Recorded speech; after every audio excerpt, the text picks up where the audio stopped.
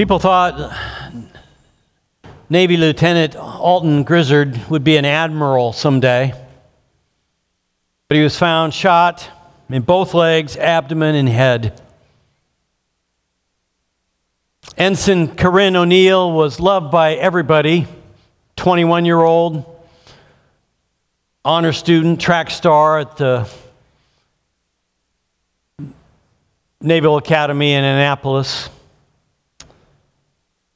She too was found dead not far from Grizzard, curled up in a fetal position. Not far from her was midshipman George Smith, 24, who was set to ship out in a few days as an engineer on a nuclear submarine. He too was shot in the head, presumably by the same gun that had killed the other two, and then he shot himself. Smith and uh, O'Neill were engaged to be married, but she broke up with him four days earlier. Next day, he sent her a 13 page letter begging her to take him back. Four hours before the murder, he, he was heard arguing with Corinne outside her apartment. 1:45 a.m. he came back and found her in her sixth floor apartment. Grizzard that was there with him. Angry words were shared, and then the shooting began.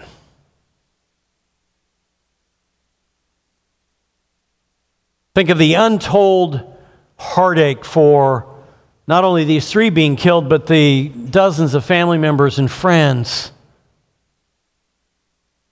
That's what murder does rage, anger, bitterness, murder, causing so much mess.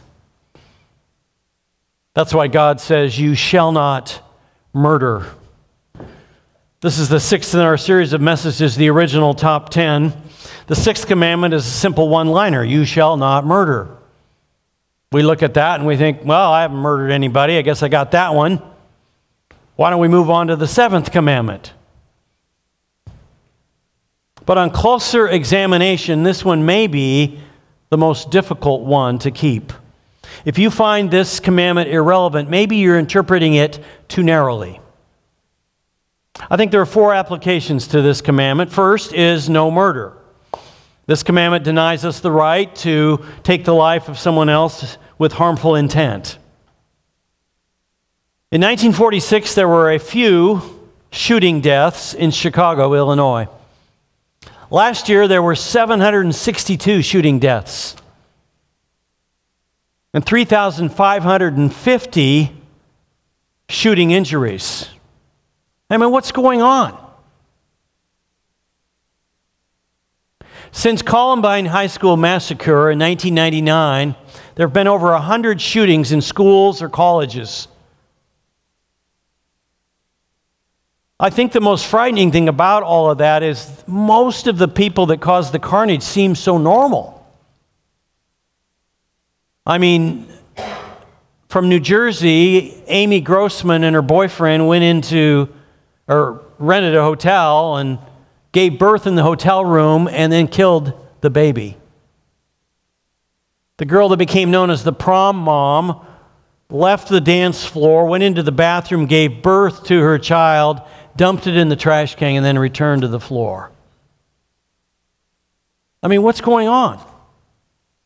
It seems to be there's been a loss of moral belief in the high value of every human being.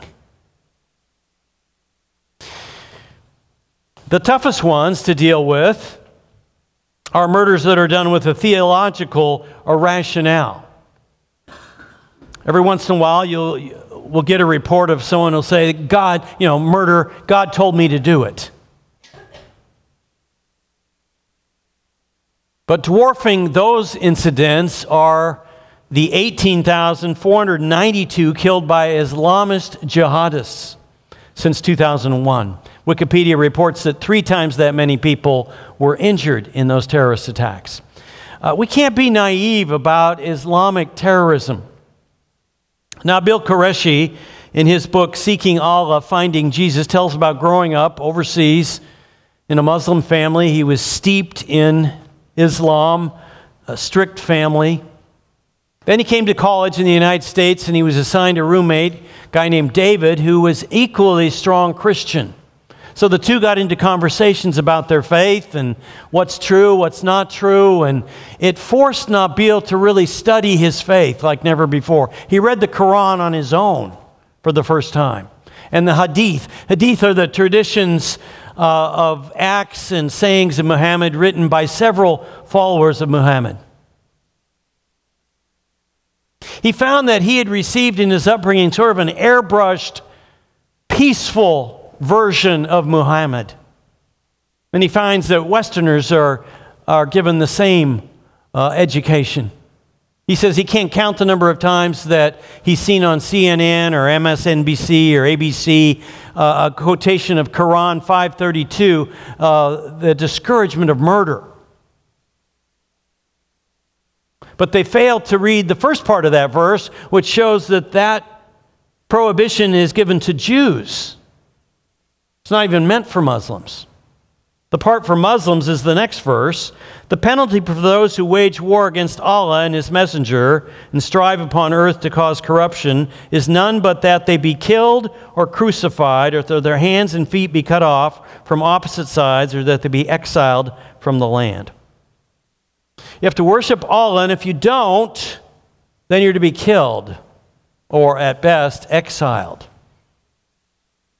So I read the Hadith, and uh, one was uh, one's by Guillaume, and he tells about uh, Muhammad ordering uh, the, mur- uh, the killing of a, a, woman with five children around her. She was nursing one, and afterwards the, the warrior said, "I wasn't too comfortable with that." Muhammad had no remorse. After the Battle of Trench, Muhammad killed uh, 500 men and teenage boys and then he sold their wives and children into slavery, and then they divided up their goods. So Nabeel is telling about this in his book, and he says, You know, I can't dismiss all these accounts. Some of the Muslims he talked with to say, what do you, How do you deal with this? They said, Well, the, uh, uh, the 500 he killed were all Jews at, at Qurayza, and they got what was coming to them. But Nabeel says, I can't make that conclusion. How many can I dismiss and still believe what I've been taught? So ultimately, he came to the point where he said, You know what? I can't uh, believe that anymore. And he committed his life to Christ. Since his conversion to Christ, he wrote the book. He's uh, shared his faith with many people, and he's now very sick with cancer. He's, he's dying. He's in Houston. He has stomach cancer. There's nothing more they can do. But in his short life, since he gave his life to Christ, he's led thousands of Muslims to Christ. Had a powerful uh, testimony. What's my point? My point is that uh, when we uh, examine our struggle with Islamic terrorism, it won't do to just conclude that Islam is peaceful and we're just dealing with extremists. Jihad or religious fighting is embedded in the heart of Islam. Murder with a theological rationale is the hardest to deal with. The sixth commandment does not prohibit all killing. Uh, killing of animals is okay, uh, capital punishment. Uh, the government is allowed to enforce its laws. A war But there's a qualitative difference between premeditated murder and self defense or accidental manslaughter. Exodus 21 Anyone who strikes a person with a fatal blow is to be put to death. However, it is, if it is not done intentionally, but God lets it happen, they are to flee to a place I will designate. But if anyone schemes and kills someone deliberately, that person is to be taken from my altar and put to death. And then in, Exodus, in Leviticus 19, do not pervert justice, do not show partiality to the poor or favoritism to the great, but judge your neighbor fairly. Do not go about spreading slander among your people. Do not do anything that endangers your neighbor's life. I am the Lord. In the Old Testament, you pay for your own crime until Christ comes and pays for all our crimes on the cross. Now compare this with Hammurabi's code. If a man strikes a gentleman's daughter, so that she dies, then his own daughter is to be put to death. If the man strikes the daughter of a poor man so that she dies, then the man shall pay one half mina. Quite a contrast with the Old Testament, where all people are treated equally under the law, rich and poor. The law provides for equal justice under the law, which is a, a core principle of Western law. You find this in Moses' law, but not Hammurabi's. In God's law, no one is permitted to commit murder, and all receive equal treatment under the law. The second application of this commandment is no vengeance. Exodus 21. Why don't you read this uh, with me, 22 to 25. If people are fighting and hit a pregnant woman, and she gives birth prematurely, but there is no serious injury, the offender must be fined whatever the woman's husband demands and the court allows. But if there is serious injury, you are to take life for life eye for eye, tooth for tooth, hand for hand, foot for foot, burn for burn, wound for wound, bruise for bruise. This is one of the most famous passages in the Old Testament, or at least one that most people know eye for an eye. Most people think of that as terrible. But it's actually meant to be a restraint on vengeance. Uh, it's a limitation on runaway punishment. I mean, this is how wars start. One nation attacks another, the other responds with an attack, and they throw in a little extra for good measure. Then the other one hits back a little harder, and away it goes. This command insists on no vengeance. Leviticus 19. Do not, seek, do not seek revenge or bear a grudge against anyone among your people, but love your neighbor as yourself. I am the Lord. Apostle Paul, do not repay evil, anyone evil for evil. Be careful to do what is right in the eyes of everyone. Do not take revenge, my dear friends, but leave room for God's wrath, for it is written, it is, this is a famous line, it is mine to avenge, I will repay, says the Lord. If we take vengeance into our own hands, we violate the sixth commandment. So if you feel you do not have a problem with murder, you don't think you have a problem with vengeance, there's still a third application no hatred. Jesus raises the bar in Matthew 5:21. Why don't you read this with me? You have heard that it was said to the people long ago, you shall not murder, and anyone who murders will be subject to judgment. But I tell you that anyone who is angry with a brother or sister will be subject to judgment. Again, anyone who says to a brother or sister, Raca, is answerable to the court, and anyone who says, You fool, will be in danger of the fire of hell. Jesus says there's more than one way to murder someone. You may not think of lifting a gun or a knife, but if you harbor feelings of anger and you have such contempt for somebody else that you call them a worthless person, he says you're on your way to breaking the sixth commandment. He uses the Greek word orge, which means kind of a seething, simmering anger. Cam and I did the journal last night, and uh, uh, we both, when we got to this one, you know, have you murdered anybody? We both said, I don't think so, but we probably have broken this commandment because we've been angry with plenty of people. But we both thought, well, we don't really have seething, boiling up anger, so we're probably not in danger of murder. At least that made us feel better about ourselves.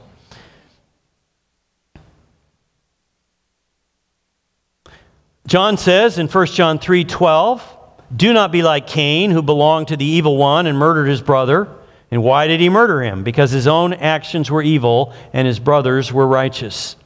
Anyone who hates a brother or sister is a murderer. And you know that no one that no murderer has eternal life residing in him. So, hating is included uh, in this commandment.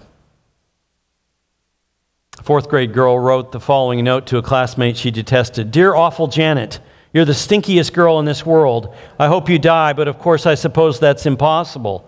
I've got some ideas. Play in the road, cut your throat, drink poison, knife yourself. Please do some of this. We all hate you. I'm praying, oh, please, Lord, let Janet die. We're in need of fresh air. Did you hear me, Lord? Because if you didn't, we'll all die with her. Wanda Jackson. I mean, who would deny that those biting words are any less worse than actually murder itself?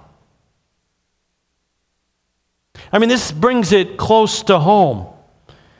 When you hate somebody so much, it's, it's really the same as leading to murder because you want to get that person out of your way.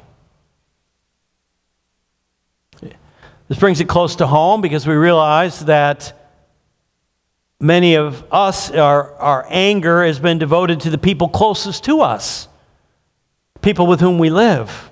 I mean, you can love someone and be angry at the same time, right? Charlie Shedd found this out after he'd had a little fight with his wife the next morning and found a note on the counter Dear Char- Charlie, I hate you. Love Martha.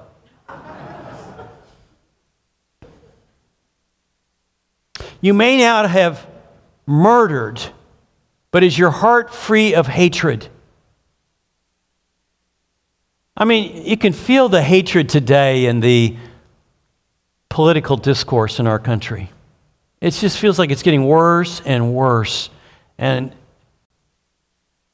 and now it's leading to violence. You know, like the congressman who was shot last week. No murder, no vengeance, no hatred are all in the negative. But all the Ten Commandments also have a grand positive. If not, you could conclude that if you don't do anything, you've pleased God. The person who doesn't do anything at all has the best shot at getting into heaven. You get to heaven, you're 85 years old, you say, I didn't murder anybody. You're, you're expecting a pat on the back. But Jesus says, But did you love your neighbor? That was included in the sixth command? Well, of course. Apostle Paul writes, Why don't you read this with me? Romans 13, 8. Let no debt remain outstanding except the continuing debt to love one another. For whoever loves others has fulfilled the law. The commandments you shall not commit adultery, you shall not murder, you shall not steal, you shall not covet, and whatever other command there may be are summed up in this one command love your neighbor as yourself. Love does no harm to a neighbor. Therefore, love is the fulfillment of the law. Love is the grand positive of all of the last five commandments. You may not have murdered. You may not have taken vengeance into your own hand. Maybe you aren't even harboring hatred. But have you loved your neighbor? That's what it means to keep the sixth commandment. So, this commandment helps us think about issues of our day suicide, to take one's own life, rejects the high value God has placed on every human life, so it's prohibited by this command. War. It's never to be entered into lightly. Never fight an unjust war.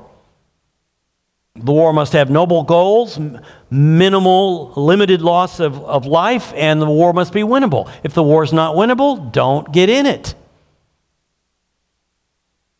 It may be the lesser of two evils, but it's never a good choice.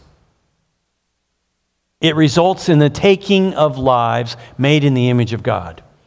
I mean, World War II, 20 million Russians were killed, 6.5 million Germans, 6 million Jews, 1 million allies. 70,000 people died at Hiroshima. The Vietnam War, 3 million Vietnamese were killed, 58,000 Americans.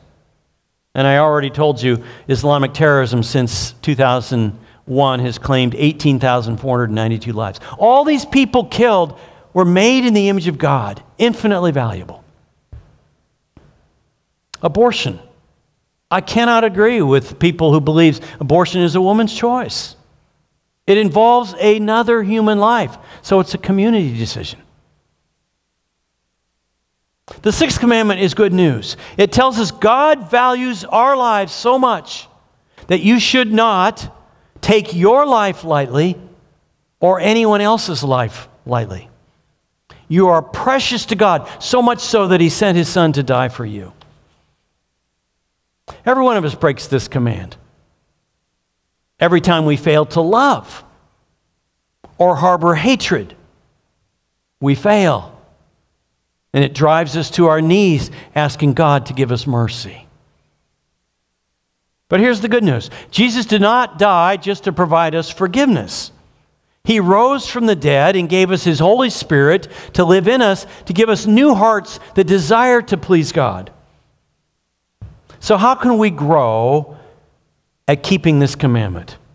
Let me give you three suggestions. One, give your life to Jesus and rely on the power of the Holy Spirit. You say, Jesus, I admit that I have broken this commandment. There are people I can't stand. There are people that drive me nuts. It's possible that I hate them. Please forgive me. I need your mercy. Come into my life. I believe you rose from the dead. And would you give me your Holy Spirit and give me a new heart? And I need to re- uh, help me rely on your Holy Spirit. Second, reconcile with your brother or sister. Jesus says in Matthew 5:23, read this with me. Therefore, if you are offering your gift at the altar and there remember that your brother or sister has something against you, leave your gift there in front of the altar. First go and be reconciled to them, then come and offer your gift. So Jesus says, if you come and you're taking communion, you're worshiping, and you remember that somebody else has something against you, stop your worship, go reconcile with them. It's that important. Now, I do so many stupid things. I've had to work my way through the steps of reconciliation, but I'm always amazed at the number of followers of Christ that don't seem to know these four steps. So let me share them with you. For some of you, this is a reminder. First thing you say is, I'm sorry. I'm sorry I said that. I'm sorry I did that.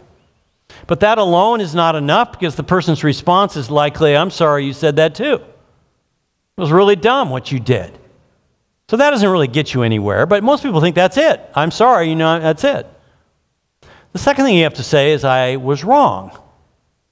Okay, now you're actually admitting you did something wrong. But don't add the cheap little word if. I don't know how many times I've heard this. If I did something wrong, what that really means is I don't think I was wrong. You do because you're thin skinned. Just skip the word if. I was wrong. Admit it. Third step is will you forgive me? Now you're giving the person a chance to say, okay, I'll accept your apology, and you're right, you were wrong. And they might forgive you. If so, you've achieved uh, some level of reconciliation. If they say no, then you have more work to do. I mean, I often get to this point with Jory. I'm sorry, I was wrong. Will you forgive me? No. You're just going to do it again. Which leads to the fourth point I will try to never do it again. Okay? I mean, she says, you know, you, are not, you never change. Well, if you don't have a plan to change, then the I am wrong, I'm sorry are just kind of words. Now, I used to say, I will never do it again, and I kind of have learned that that's a little too much promise. So I will try to never do it again. Seems a little more realistic. Three, reconcile quickly. Look what Jesus says in Matthew 5 25. Why don't you read this with me? Settle matters quickly with your adversary who is taking you to court. Do it while you are still together on the way, or your adversary may hand you over to the judge, and the judge may hand you over to the officer, and you may be thrown into prison. Truly, I tell you, you will not get out until you have paid the last penny. Reconciling quickly will protect you from so much heartache, bitterness, depression, hatred, lawsuits, murder. Failure to resolve conflict and deal with his anger quickly led Ensign George Smith into the deep, dark tunnel of hatred and murder and suicide. Murder and suicide mark the end of the road if we keep walking down the path of unresolved anger and hatred.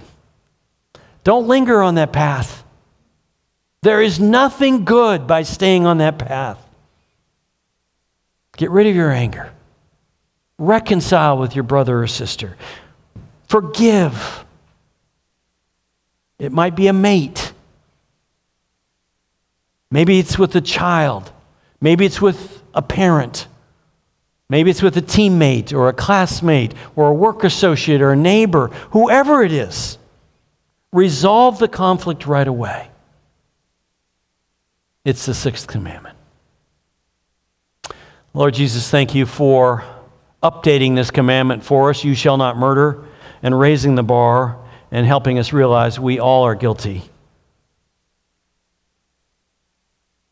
I want to give you a chance to respond to God. Whenever you read God's word, I think it's important you respond. Why don't you tell Him what you've heard today?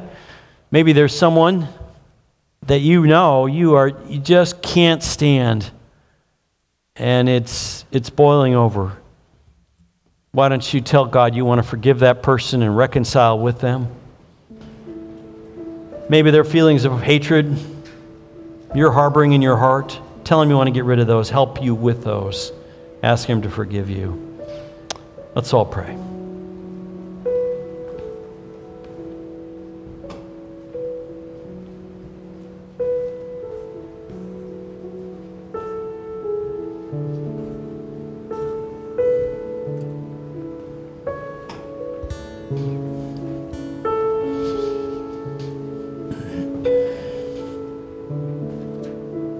Lord Jesus, thank you for hearing us pray. And uh, we really do. Uh, everyone is made in the image of you. They're highly valuable. So we don't want to hate them, resent them, murder them, of course. So help us with that, Lord, to love other people. In Jesus' name we pray. Amen.